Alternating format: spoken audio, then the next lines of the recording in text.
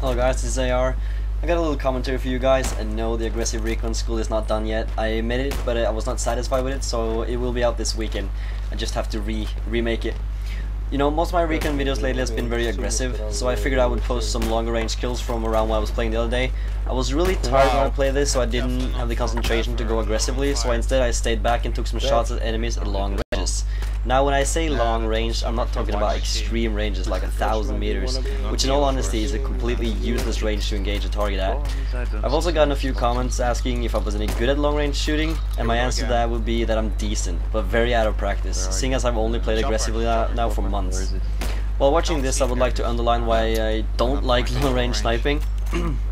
no matter how good you are, a shot at 450 meters or more will ultimately be decided on what the enemy chooses to do, seeing as the bullet travels. If he decides to stop, turn or jump, it may ruin your shot. Yes, it's exciting, but it's very ineffective.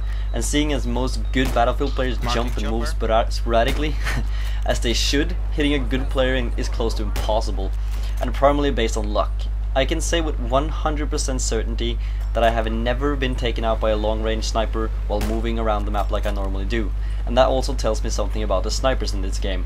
I see tons of long-range snipers and I'm not even afraid of them, because I know they will never hit me and I can easily hit them since they're just lying perfectly still somewhere. This is why I try to encourage people to move around and take objectives and go closer to the enemies. It's more fun, more action-packed, and you really help your team uh, compared to staying back to get a headshot at 500 meters plus, and you get a lot more practice from it. You will also notice here that I really stand still and watch where the bullet lands uh, to adjust my aim, which is probably why my accuracy is a bit off on long ranges now. The reason for this is that it comes automatic automatically for me, and seeing as I normally play so aggressively, standing still after taking a shot means you're dead, so my bullet drop correction is more or less on how I feel the shot went. I always go through the video afterwards though in slow motion to see if I how much I was off and if I tend to shoot too high or too low. The JNG is a pretty new rifle to me as well, so this was the first time trying it out at long range. Now some other stuff has happened this week as well. I got my new keyboard, for those who didn't know or just sub to me, I won the Hazard Cinema Top 10 Battlefield 3 plays a while back. Uh, it's episode number T if you want to episode number 10 if you want to check it out. Uh, and chose the Black Widow Ultimate Battlefield 3 keyboard from Razer as my prize. And after a long wait, it's finally arrived.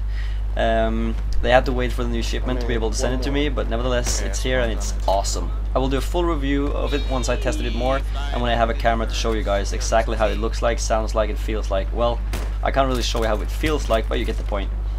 What I can say about it though is that it's complete revelation for me. I've been using a 20 year old keyboard now for years uh, and was very comfortable with it. This new this new keyboard however is an advanced mechanical keyboard and probably will take some time getting used to. But will hopefully take my gaming to a new, to a new level. Uh, first impression is very good though and uh, so far it feels great.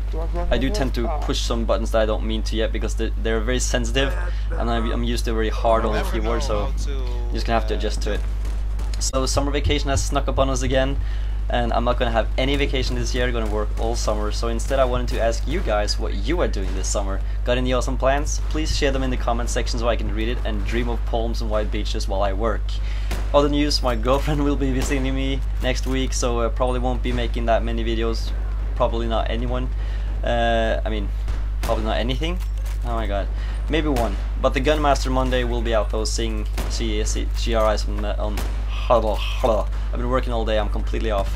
She arrives on Tuesday, so I will be making the uh, Gunmaster Monday episode. Whew, finally got that out. That was everything I had for this uh, little commentary. I hope you enjoyed the uh, gameplay and some long range shooting. Don't forget to mention your uh, summer vacation plans and um, see you guys this weekend. Bye.